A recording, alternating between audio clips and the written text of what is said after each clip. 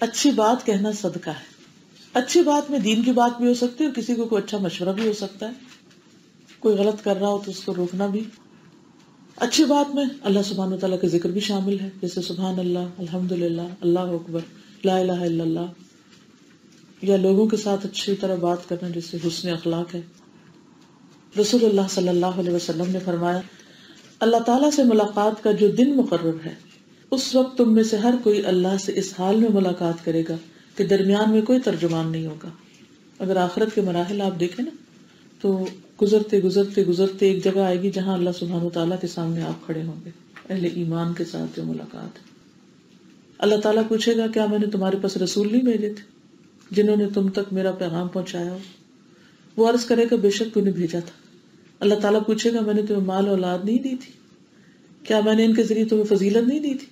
कि माल की वजह से तुम्हारा एक स्टेटस बना, बच्चों की वजह से तुम्हारा एक नाम बना? वो जवाब देगा, बेशक तूने दिया था। फिर वो अपनी दाएँ तरफ़ देखेगा तो सिर्फ़ जहन्नम ही नज़र आएगा। यानी ऐसी जगह खड़ा होगा यूँ समझे कि जैसे आप किसी डॉक पे जाके खड़े होते हैं राइट तरफ़ देखे पानी है लेफ़्ट देखे पानी है तो इसी तरह वो जो मकाम होगा जहाँ मुलाकात होगी, उसमें दाएँ तरफ़ देखेगा तो आग ही आगे, बाएँ तरफ़ देखेगा तो आग ही आगे। कुछ और नज़र नहीं आएगा। तो आपने वो सीन याद करवा के फरमाया, जहन्नम से बचो, अगरचे खजूर के एक टुकड़े के ज़रिए ही क्यों ना और अगर किसी को खजूर का टुकड़ा भी नहीं मिलता, है ही नहीं उसके पास कुछ तो किसी से अच्छी बात ही कह दो। ये भी सदका है। इससे भी बचाव होगा। मसलन आप किसी के पास से गुजरते हैं, सलाम कर लेते हैं, हेलो, हाय कर लेते हैं, क्या हाल है भाई? कैसे हो? क्या हो रहा है? कैसे दिन गुजर रहे हैं? यानी छोटी छोटी ये नहीं कि लंबी चौड़ी कहानी शुरू कर दे, यानी गुजरते हुए एहसास दिलाएँ कि I care for you I care तो इसका आगाज़ सबसे पहले घर से होना चाहिए। आपके शौहर को ये एहसास होना चाहिए कि आप उनकी केयर करती, या आप अपने लिए एक टारगेट रख लें। He should know that you care for him ये बातों से नहीं होगा। कहना भी चाहिए कभी कभी बोल के नहीं कह सकते, लिख के दे दें। अच्छा सा मैसेज लिख के दे दें। लेकिन आपका जेस्टर आपका रवैया, और ये थोड़े से एक्शन से भी ज़ाहिर होता है ना। मसलन घर में आया और आप कुछ कर रही हैं तो थोड़ी देर छोड़ दें उस काम को सलाम दो अच्छे से कर लें। कुछ चाहिए, नहीं भी कर सकते तो आप थोड़ा सा हिलजुल अच्छा मैं आऊँ, मैं मदद कर दू। ये एक जेस्टर है ना, और एक सिर्फ़ अपने आप में होके बैठे रहना, लेकिन आई डोंट केयर जो मर्ज़ी हो, मुझे नहीं परवाह।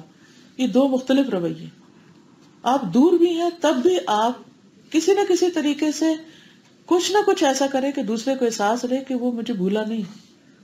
करीब भी है, तब भी। तो ये एटीट्यूड घर में एक खुशी बखेर देता है। आई केयर फॉर यू बच्चों को एहसास होना चाहिए कि हम उनकी केयर करते हैं। हम उनके बारे में कंसर्न है। लेकिन ओवर कंसर्न ना हो, फिर वो बोझ महसूस करते हैं, हिकमत के साथ। क्योंकि वो कहते हैं, फिर प्लीज़ केयर करना छोड़ दें। हमारी जान छोड़ दें, हमें आज़ाद करें। इतनी केयर नहीं चाहिए हमें। मुस्कुरा के, यानी थोड़ा सा काम कर रहे हैं, कुछ भी कर रहे हैं इवन पढ़ भी रहे हैं आप अपना। कई लोगों को मुश्किल होती है, हम नहीं सबक याद कर सकते। हम टेस्ट नहीं दे सकते, घर वाले नाराज़ होते वो क्यों होते हैं? क्योंकि फिर वो हम इतना उसमें महब होते हैं कि उनको सलाम भी भूल जाते हैं। आप पढ़ भी रहे हैं, कुछ कर रहे हैं, आप सर हिला दें, सलाम कर लें। हाथ से वेव कर दें, कुछ कर दें। यानी एहसास दिलाएँ दूसरे को कि आप केयर करते हैं।